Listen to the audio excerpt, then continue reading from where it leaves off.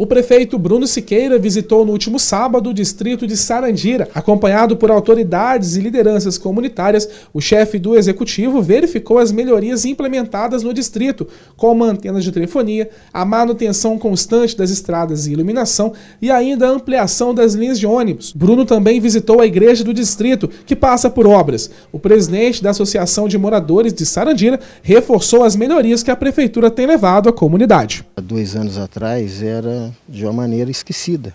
Com a gestão Bruno, nós temos sido bem atendidos, com a Delurb, Impave, Secretaria de Obras, você mesmo pode perceber, tá, o distrito está todo limpo. E com a gestão Bruno é outra coisa. Tá? A gente está muito satisfeito e está funcionando.